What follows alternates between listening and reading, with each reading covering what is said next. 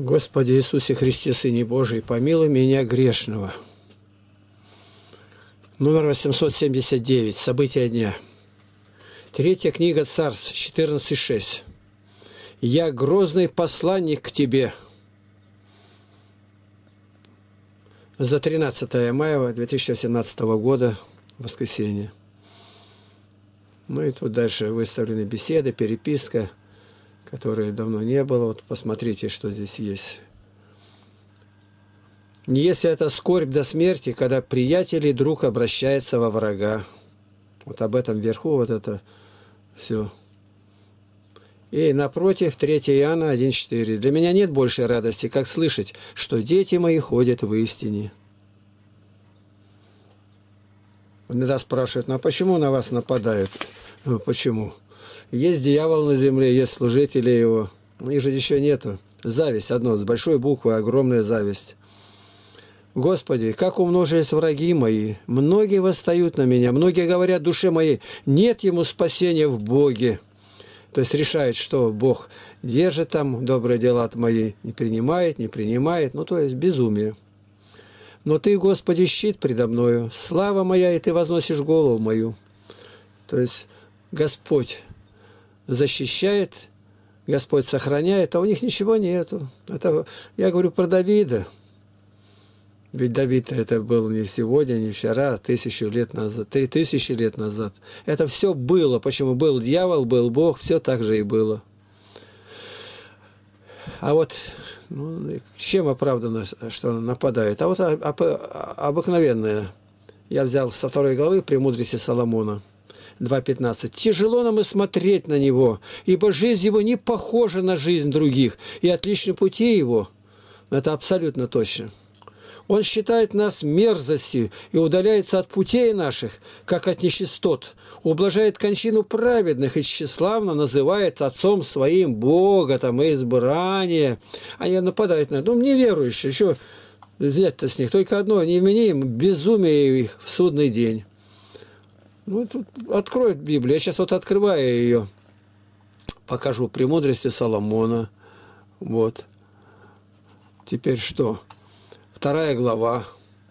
Вот прочитаем один раз ее. «Неправо умствующие говорили сами в себе». Коротка и прискорбна наша жизнь, нет человеку спасения от смерти. И не знают, чтобы кто освободил из ада. Про знают уже. Случайно мы рождены, и после будем как небывшие. Дыхание в ноздрях наших – это дым, и слово – искра в движении нашего сердца. Когда она угасает, тело обратится в прах, и дух рассеется, как жидкий воздух, хотя написано «дух идет к Богу». И имя наше забудется со временем, и никто не вспомнит о делах наших, и жизнь наша пройдет, как след облака, и рассеется, как туман, разогнанный лучами солнца и отягченный теплотою его. Ибо жизнь наша прохождение тени, и нет нам возврата от смерти, ибо положено печать, и никто не возвращается». Ну, так они и думают безбожники. Будем же наслаждаться настоящими благами и спешить пользоваться миром, как юностью преисполнимся дорогим вином и благовониями, и да не пройдет мимо нас весенний свет жизни. Увенчаемся цветами роз, прежде нежели они увяли. Никто из нас не лишай себя участия в нашем наслаждении. Везде оставим следы веселья, ибо это наша доля и наш жребий. Ну и пускай это их дело, но они на этом не останавливаются. И вот далее с 10 главы, куда они... Ну ладно, ди, что раньше говорили, что, чтобы обернулся назад, у тебя гора бутылок пустых и голых баб. Это еще в армии слышал, говорили. И вот эти все точно так и рассуждают. Будем притеснять бедняка-праведника, не пощадим вдовы и не постыдимся многолетних седин старца. То есть у них программа определенная, они ищут, а раз руководит ими сатана – а сатана особенно летует там, где духовного сана люди. Это и Златоуст говорит, все об этом говорят. Игнатий Бринщининов. Остались одни актеры. И что они начнут, говорит, все ко вреду. Любое предприятие, все ко вреду. Сила наша да будет законом правды, ибо бессилие оказывается бесполезным. Устроим ковы праведнику, ибо он в тягость нам и противится делам нашим, укоряет нас в грехах против закона и поносит нас за грехи нашего воспитания. Объявляет себя имеющим познание о Боге и называет себя сыном Господа. Как они слово избрание, прямо как трясутся все. Ну, отродье бесовское. Он перед нами обличение помыслов наших. Тяжело нам и смотреть на него, ибо жизнь его не похожа на жизнь других, и отличны пути его. Он считает нас мерзостью и удаляется от путей наших, как от нечистот, ублажает кончину праведных и тщеславно называет отцом своим Бога. Увидим, истинны ли слова его, испытаем, какой будет исход его.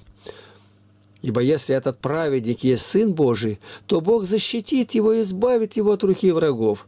Ну, как раз вы-то враги и есть, они об этом молятся. Испытаем его оскорблением и мучением, дабы узнать смирение его и видеть незлобие его.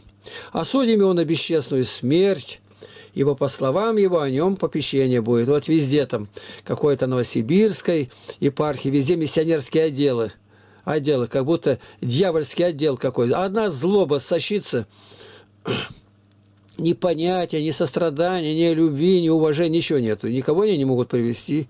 Естественно, здесь, по словам, будет попищение о нем. И вот стоит там за икону, спрячется, держит там, или с Козырской епархии, и все против меня. Значит, одно то, что вы все против идете, значит, жизнь моя отлична от вашей. Вот все, что здесь есть, вот так будем притеснять. Это вы говорите, не я. Я к вам даже не знаю, какие у вас ресурсы. А вы знаете, каждый день, ну, я не знаю сколько, ну, 70-100 примерно матершинных других отзывов, скверных. Так они умствовали и ошиблись, ибо злоба их ослепила их – и они не познали тайн Божьих, не ожидали воздаяния за святость и не считали достойными награды душ непорочных.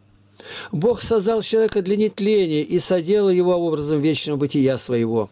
Но завистью дьявола вошла в мир смерть и испытывает ее, принадлежащее к уделу его а души праведных в руке Божией, мучение не коснется их. В глазах неразумных они казались умершими, исход их считался погибелью, и отшествие от нас – уничтожением. Но они пребывают в мире, ибо хотя они в глазах людей и наказываются, но надежда их полна бессмертия. И немного наказаны, они будут много облагодетельствованы, потому что Бог испытал их и нашел их достойными Его – а как вас Бог испытывал? Ну, всяко разно.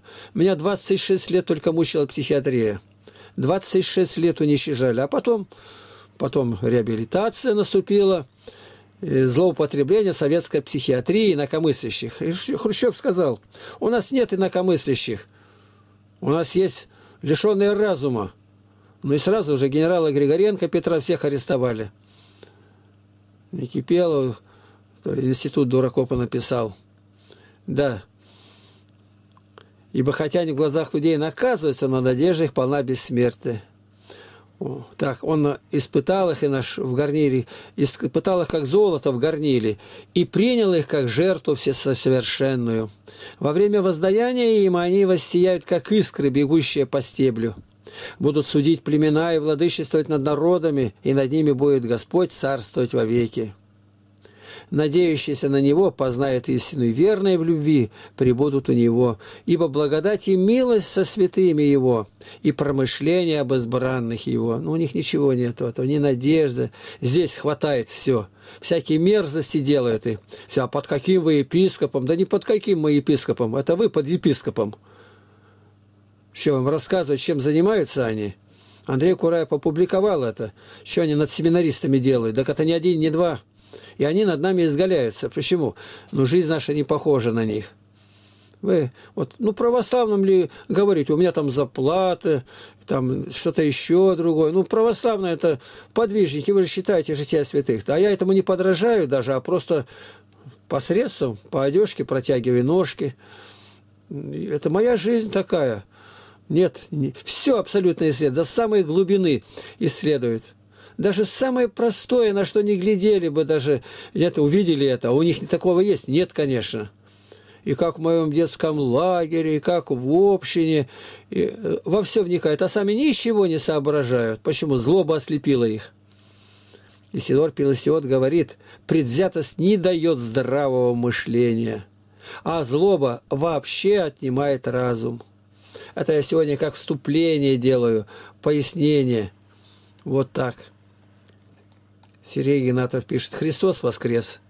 Объявление об отдыхе, труде и православном воспитании детей в поселке Потеряевка и многое другое тобою, совершаемое во славу Божию, распространяю в Фейсбуке. 15 мая мне предстоит выступать с отчетом в Минэнергоугли Украины о работе по предупреждению коррупции на нашей шахте. Он юрист. Знаю, что надо быть твердым и мужественным, как сказал Господь Иисусу на вину. Прошу Твоих, Игнатий Тихонович, молитв. Аминь. Да благословит тебя, Сергей, Господь, и укрепит. Елена Павловна. Не знаю даже, как сказать. Никита надо, насчитывает Григория Сковороду. Так вот, видимо, в слове ошибка. Какая ошибка, еще так я не понял. Сергей Игнатов. Христос воскрес. Шалом Евгению Тропко, который спрашивает нашего строгого и доброго наставника во Христе о том, как он готовился к выходу на проповедь Евангелия, а также попутно выложил против него написанные умными но под диктовку дьяволом памфлеты, именно памфлеты.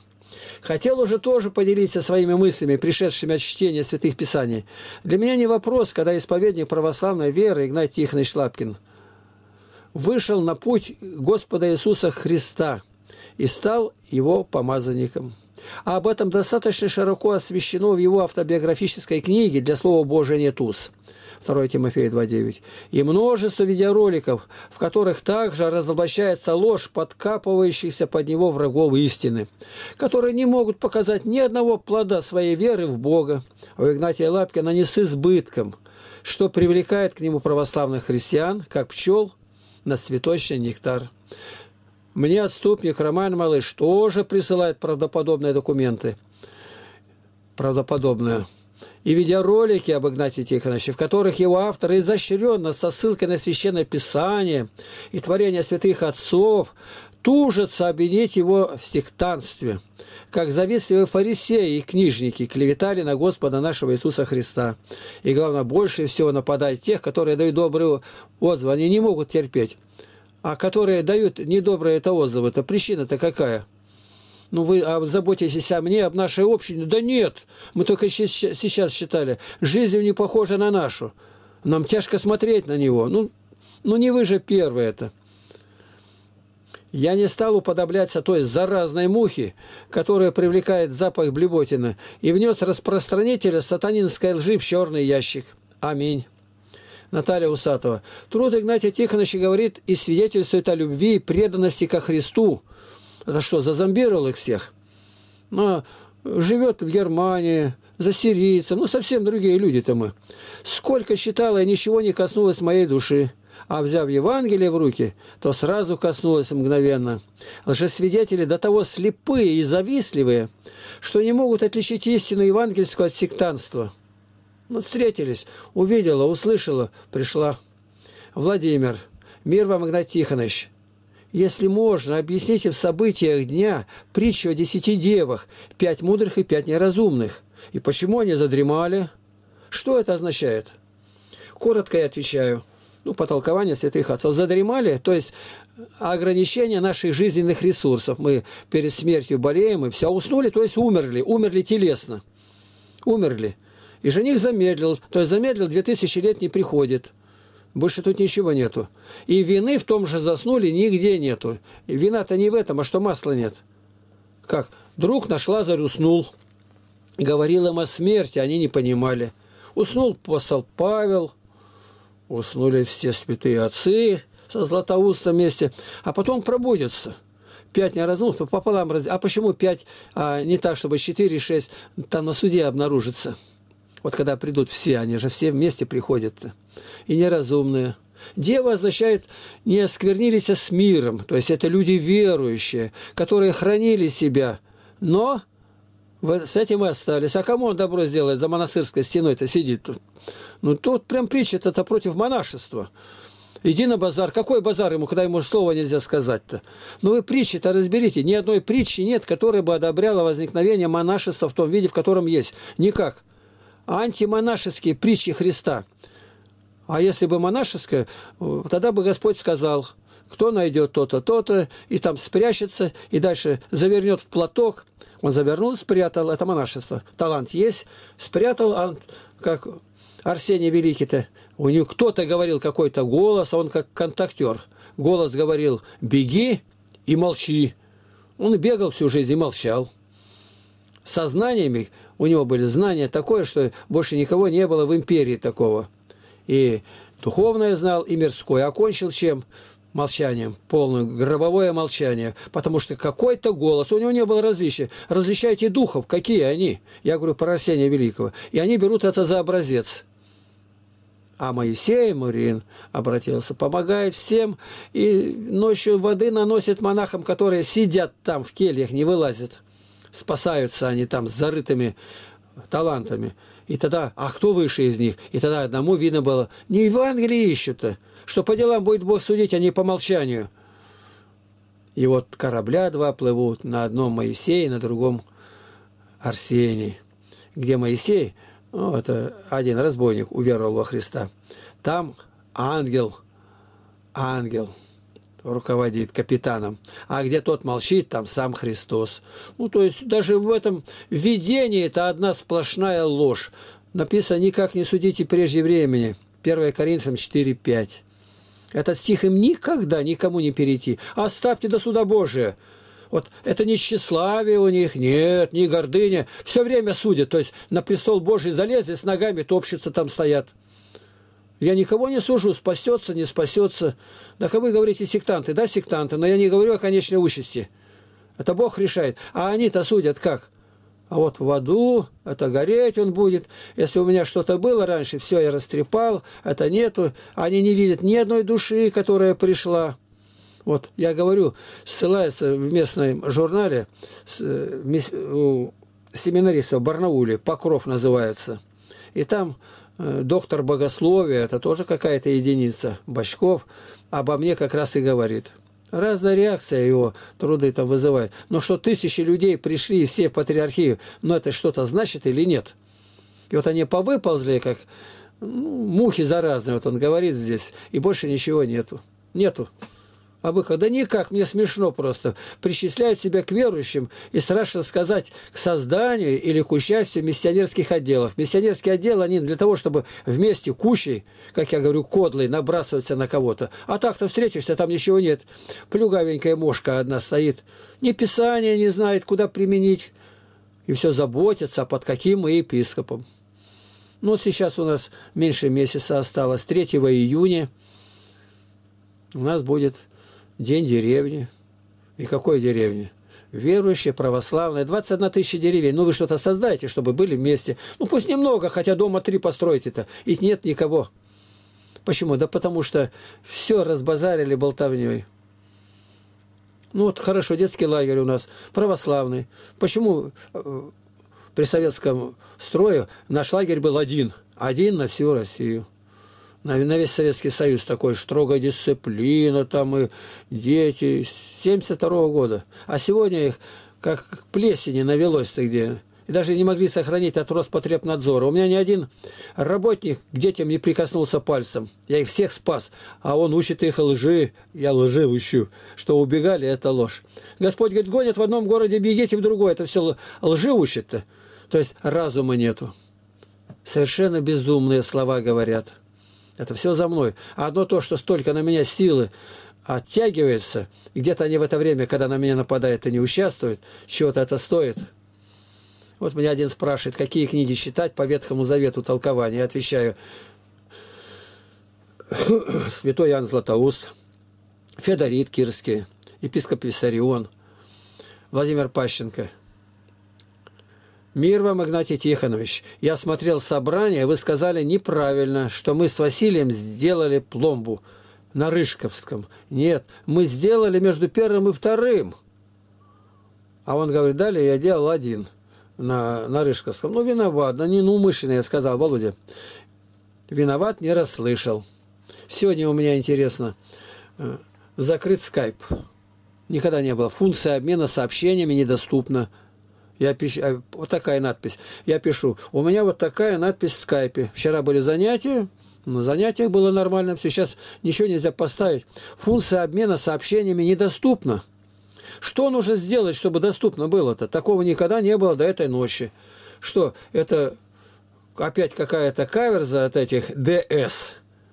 Везде они под буквой Д и С. Вот как-то или фамилия, имя. Так, я просто обратил внимание. Дьявол, сатана. Я благодарю Бога за всех гонителей, клеветников и молюсь каждый день о них. Они награду только увеличивают. Больше ничего тут и нету. Дальше показать наши, можно, ресурсы. Вот мой мир я люблю. Хорошо. О, как раз Никита вышел. Ну, потом посмотрю. Дальше. Ленточный. Вот здесь вот. Форум наш, 1600 тем. А тут вот 21 тысяча на моем мире фотографий, 9 тысяч с лишним роликов. Ну и дальше видео, наш канал, православный видеоканал. 11 тысяч роликов, 19 миллионов 198 тысяч посещений, ну и прочее такое. Вот 19 тысяч 344 подписчика. Ну, и тут идет работа, идет большая работа, настоящая работа. Вот это. Ну и наш во свете Библии православный библейский сайт. И вот самое, считаю, важное – нужное и недосягаемое ни для врагов, ни для кого. И не сделать никогда этого, не сделает. Потому что дети, вот, о нет, вот они не знают, 13 пункт, папка. И вот считаем. Тут, я не знаю, будет или нет видно. Ну, так вот. Вопрос 1836. Примеры покорности воли родителей есть ли в житиях? А то все прославляется такие, как житие Алексея, который бежал от невесты и любящих, глубоко верующих православных, богатых родителей, которые любили нищих и были милосердными и щедрыми. Ответ. Есть, но о них почти ничего не известно народу, и в честь их нет храмов. Как недавно Андрей Кураев, ну я об этом много говорю, уже опубликовал, что вот в России тысячи лет христианства, ни одного канонизированного мирского, ну это, это простеца нету, который жил бы там, женился, и все праведно, подавал милостыню, но его не казнили. Просто так. Вот обыкновенно, как монах жил, да и умер. Это ни одного монахи не пропустили. Вот такое разумение, что небо – это монашество. И в монахе записывает и Божью Матерь, Богородицу. Это первая монашка была. Ян Креститель, первый монах. Ну, что спрашивать? С больных-то. И спрашивать нечего. Так, результаты послушания воле родителей выйти замуж всегда превосходнее того, когда девица убегала и скиталась где-то. О ее биографии можно тогда сказать, что если убрать все приписки жизни описателей, то останется только уход ее семьи, из семьи и смерть. 1 Коринфянам 7.38. «Посему выдающий замуж свою девицу поступает хорошо, а не выдающий поступает лучше». Судя по стилю речи Павла, можно принять, что власть была ли девушке, девушка замужем или оставаться одной, все в руках родившего ее. Но никак не он решает теперь. Ныне монахи сломали этот стереотип и ввели формулу брать по высшей шкале, как понимать, пусть и человеческими усилиями, но на белом коне. Скопцы, секта изуверов, оскопляли и мужей, и женский пол в своих кораблях-общинах, чтобы посадить человека на белого коня, в кавычках. Псалом 93:15. «Ибо суд возвратится к правде, и за ним последует всеправое сердцем». Слово «оскверниться» встречается в полной Библии 188 раз, и всегда речь идет а нарушение освященного, узаконенного, принятия чуждого, противного Богу, заразного. Числа 5, 19, 28. И заклянет ее священник и скажет жене, если никто не переспал с тобой, и ты не осквернилась, и не изменила мужу своему, то невредимо будешь от всей горькой воды, наводящей проклятие. Если же жена не осквернилась и была чиста, то останется невредимой и будет оплодотворяема семенем проверка такая с земли, где тысячи людей проходили, и прокаженные могли тайно появляться, что угодно. Взять земли, растворить, дать выпить. Вот интересно все же. Еремия 3.1. Говорят, если муж отпустит жену свою, и она отойдет от него и сделается женой другого мужа, то может ли она возвратиться к нему, к первому? Не осквернилась ли бы этим страна на так? А ты со многими любовниками блудодействовал, и однако же возвратись ко мне, говорит Господь. Это об Израиле. Откровение 14.4. Это те, которые не осквернились женами, ибо они девственники. Это те, которые следуют за Агнцем, куда бы он ни пошел. Они искуплены из людей, как первенству Богу и Агнцу каждый день почти меня спрашивает, жениться, не жениться. Ну, ну, если не понуждает плоть, то удержись. Откровение 3.4. Впрочем, у тебя в Сардисе есть несколько человек, которые не осквернили одежды своих, одежд, и будут ходить со мною в белых одеждах, ибо они достойны. Евреям 12.15. Наблюдайте, чтобы кто не лишился благодати Божией, чтобы какой горький корень, возникнув, не причинил вреда, и чтобы им не сквернилось многие. Симон, Дивногорец, 24 мая, житие. Но так как родители принуждали ее вступать в брак, то Марфа ушла от них и направилась с поспешностью в притечевую церковь, находившуюся близ города Антиохии. Придя сюда, она пала ниц и со слезами начала молиться ко Христу, ко Господу, прося Его устроить все так, как бы было полезнее и спасительнее для нее. И было в этой церкви видение Марфе, повелевавшее ей подчиниться родителям и вступить в брак. Исполняя волю Божию, девица сосчиталась с Иоанном. Честная Марфа часто приходила в церковь Притечева и молилась здесь о великом – с великим усердием к Иоанну Притече, прося его исходотайствовать ей у Бога своими молитвами дар родить дитя мужеского пола. При этом Марфа обещала посвятить его, как некогда Анна Самуила, на служение Богу.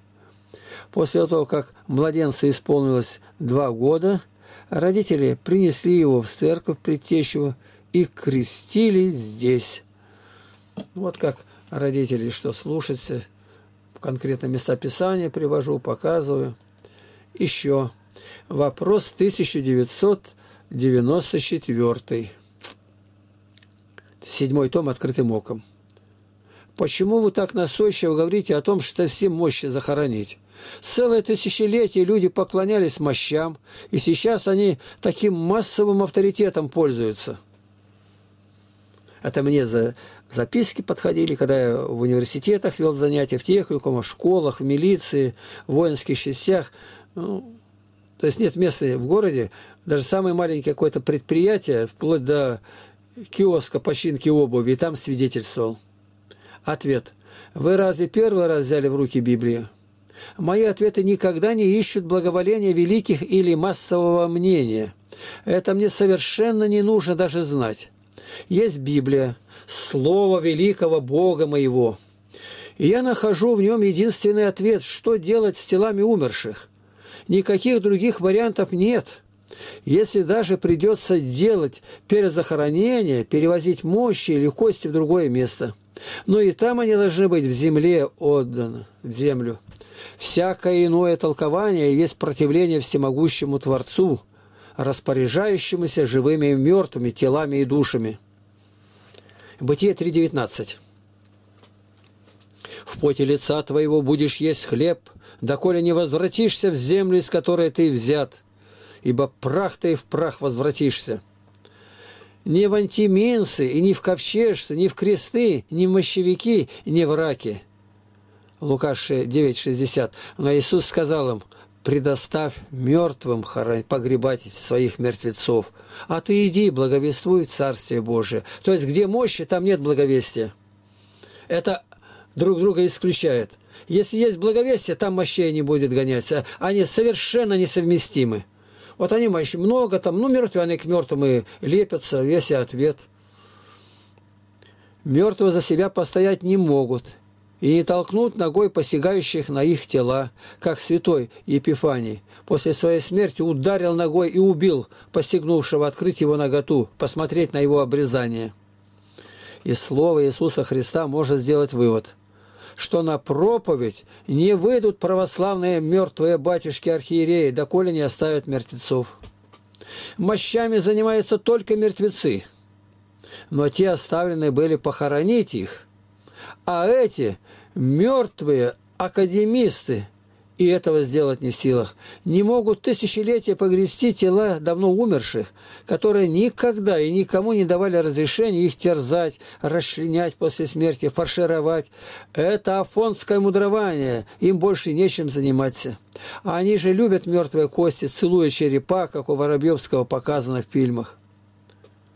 Во всей Библии нет даже намека, чтобы тела терзать, отрезать, отпиливать от них – Ровно 90 раз встречается число «погребать» на страницах Священного Писания. Это 90 свидетелей будет на суде Божьем против всех, кто не согласен с этим и был прямым или невольным участником этого заблуждения. И слово «схоронить» хоронить еще 102 раза подтверждает, что надо хоронить, а не выкапывать тела умерших, кто бы они ни были, называя это обретение мощей. Совершенно в обратную сторону стали работать лопаты могильщиков. Гробокопательство – смертный грех. Не говорю, чтобы каждый батюшка стал уничтожать антиминцы. Нужно это знать, сокрушаться внутри себя и добиваться, чтобы это было проведено соборно. Когда-то же эти тела будут воскресать. Непогребение всегда считалось наказанием от Бога. 2 Маковейское 5.10. «Оставивший многих без погребения, он сам остался неоплаканным и не удостоен ни погребения, ни отеческого гроба». 2 Маковейское 13.7. Такой-то смертью пришлось умереть нечестивому Менелаю и не иметь погребения в земле. И весьма справедливо. Иоанна Крестителя первые ученики погребли, а спустя столетия раскопали – и стали считать, что так будет лучше. Я говорю, трупопоклонники. Ой, ой. Да как можно назвать святого трупом? Ну а как его назовешь? Труп и живой – это два варианта. Ну не трупом же. Так, ну, Матрона – это не труп. Не труп. Нет, а кто она? А вот Илья, пророк Енох, это трупы. И убил их, 12 глава Откровения, Апокалипсиса. Говорит, ты бросил трупы их на улицах. Господь себя с трупом сравнивает. Где труп, там орлы. Ну, вот, понимаете, омертвевшее у людей сознание. И далее мы считаем. Иоанна Крестителя первые ученики погребли. И спустя столетия раскопали и стали считать, что так будет лучше. И Деяние 14.12. Ученики же его, придя, взяли тело его и погребли его, и пошли и возвестили Иисусу. Лука 16, 22. «Умер нищий и отнесен был ангелами на лона Авраамова. Умер богач, похоронили его». Похоронили. Евреи знали о заповеди предавать прах праху, ибо все этому правилу все подчинялись, все люди на земле. Матфея 27, 7. Сделав же совещание, купили на них землю горшечника для погребения странников. Деяние 5.6. И встав, юноши приготовили его к погребению и вынесши, похоронили. Ну, непонятно, что такое приготовить. Мы стараемся во всем быть похожими на Иисуса и на святых. Господь был погребен и в третий день воскрес из мертвых. Если бы Божья Матерь не была восхищена, как говорит предание, то ее тоже бы на счастье расчленили бы. Так? Приобщение к святости через видимые предметы – это разве заповедал Христос? Колосям 2.12. «Быв погребены с ним в крещении. В нем вы воскресли верою Господа Иисуса, в силу Бога, который воскресил его из мертвых». В Новом Завете это обыкновение, как хоронить, перешло в церковь Христову. Деяние 8.2. Стефана же погребли мужи благоговейные и сделали великий плащ по нем. Ну, вот это все на сегодня.